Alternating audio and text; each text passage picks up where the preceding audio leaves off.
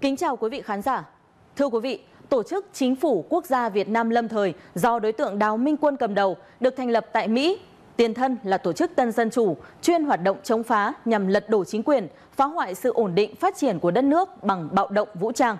Bộ Công an đã từng thông báo Chính phủ Quốc gia Việt Nam lâm thời là một tổ chức khủng bố. Người nào có hành vi tham gia, tuyên truyền, lôi kéo, xúi dục người khác tham gia, tài trợ, nhận tài trợ, tham gia các khóa đào tạo huấn luyện do tổ chức này thực hiện là phạm tội và sẽ bị xử lý theo quy định của pháp luật. Đào Minh Quân đã cùng các đối tượng tham gia tổ chức này thường xuyên tuyên truyền, xuyên tạc chủ trương, chính sách của Đảng, Nhà nước Việt Nam, lôi kéo móc nối, thành lập tổ chức, phát triển lực lượng trong nước và tiến hành đưa người từ nước ngoài về Việt Nam chỉ đạo thực hiện các hoạt động chống phá. Và gần đây nhất, tổ chức này đã lợi dụng mạng xã hội để thu thập, đánh cắp thông tin cá nhân của công dân trong nước nhằm phục vụ những mục đích phản động. Để lôi kéo người dân tham gia, Tổ chức Chính phủ Quốc gia Việt Nam lâm thời đã dựng lên các chiêu trò như hứa hẹn phong chức tước, bổ nhiệm chức vụ cho các thành viên. Đồng thời, tổ chức này còn vẽ ra nhiều dự án cùng những lời hứa sẽ cấp đất, xây nhà để đánh vào lòng tham của một số người nhẹ dạ, thiếu hiểu biết. Cái nguồn tài chính thì ờ, chủ yếu của tổ chức này là do vận động, rồi kêu gọi đóng góp của một số thành viên và một số ít thông qua các cái hoạt động ờ, gây quỹ như là tổ chức các chương trình văn nghệ từ thiện. Ờ, bên cạnh đó thì tổ chức này cũng thực hiện các cái hoạt động lừa đảo một số đông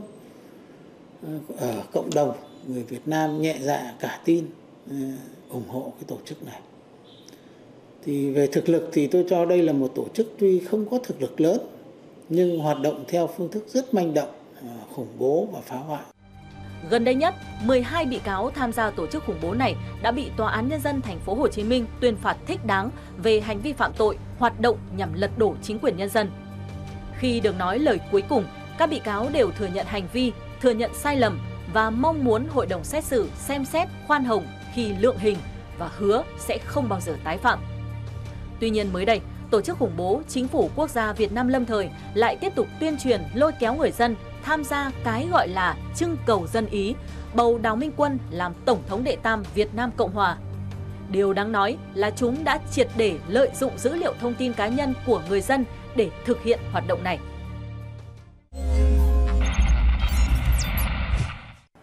Gần đây, một số người dân trên địa bàn tỉnh Vĩnh Phúc có đơn trình báo cơ quan công an về việc thông tin cá nhân của họ bị các đối tượng của tổ chức khủng bố Chính phủ Quốc gia Việt Nam lâm thời sử dụng để đăng ký vào các hoạt động như trưng cầu dân Ý, bầu đối tượng cầm đầu là Đào Minh Quân làm Tổng thống đệ tam Việt Nam Cộng Hòa.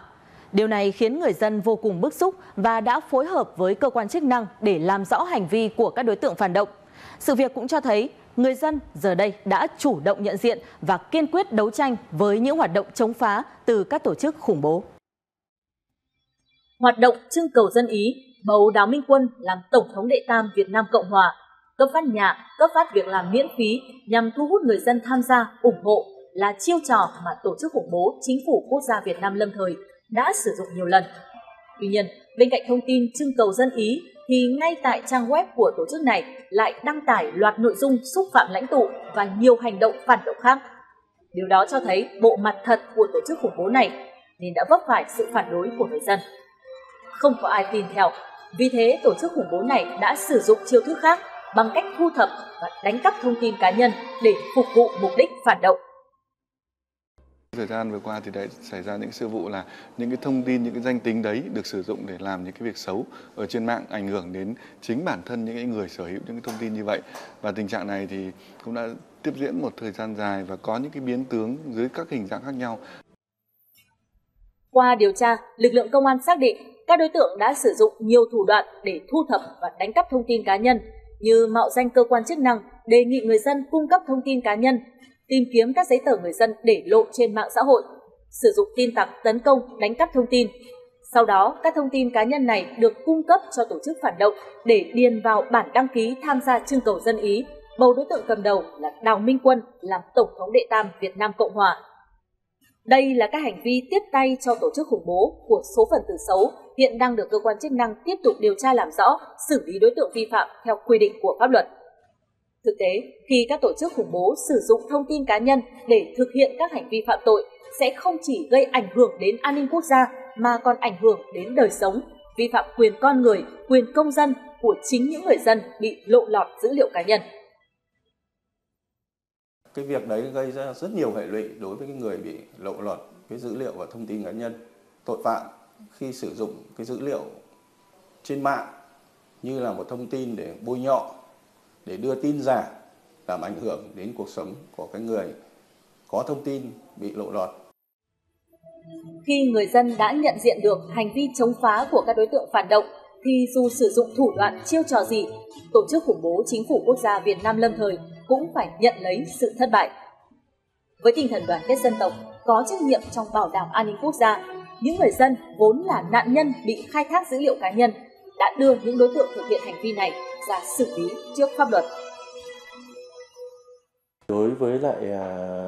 người dân, những cái người à, hiện nay sử dụng à, các cái nền tảng trên mạng internet, trên không gian mạng thì trước tiên chúng tôi cũng khuyến nghị là chúng ta không đánh đổi cái tiện ích về mặt công nghệ, về mặt đời sống đối với việc mà có những cái đơn vị họ thu thập thông tin của mình ờ, thì cũng phải hết sức cân nhắc. Ờ, chẳng hạn như đơn giản thôi, khi chúng ta đi ra siêu thị điền thông tin nhà riêng, thông tin hộ khẩu, thông tin số điện thoại, thông tin ngày tháng năm sinh là những cái chúng ta cũng phải hết sức cân nhắc. Thực tế, dù ở quốc gia nào thì công nghệ phát triển để giúp nâng cao đời sống người dân. Mạng xã hội phát triển để giúp kết nối mọi người, chứ không phải là phương tiện để các thế lực phản động sử dụng nhằm chia rẽ, phá hoại nền độc lập của đất nước và cuộc sống bình yên của nhân dân. 48 năm đã trôi qua kể từ khi đất nước thống nhất, non sông thu về một mối, người dân Việt Nam đi vào thời kỳ hòa bình, ổn định. Tuy nhiên, tổ chức khủng bố Chính phủ Quốc gia Việt Nam lâm thời vẫn tiếp tục mù quáng theo đuổi mục đích chống phá vô nghĩa thì sẽ càng lạc lõng và lùi dần ở phía sau trong sự phát triển của đất nước.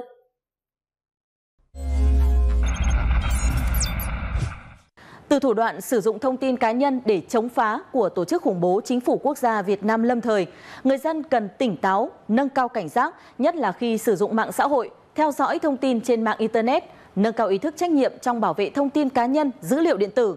Tuyệt đối không cung cấp thông tin cá nhân cho các đối tượng xấu, không nên đăng tải hình ảnh giấy tờ cá nhân lên các ứng dụng mạng xã hội, chỉ cung cấp xuất trình giấy tờ cá nhân khi cơ quan nhà nước có thẩm quyền và lực lượng chức năng yêu cầu xuất trình, cung cấp thông tin, sử dụng các dịch vụ công, xác thực điện tử từ các ứng dụng tin cậy.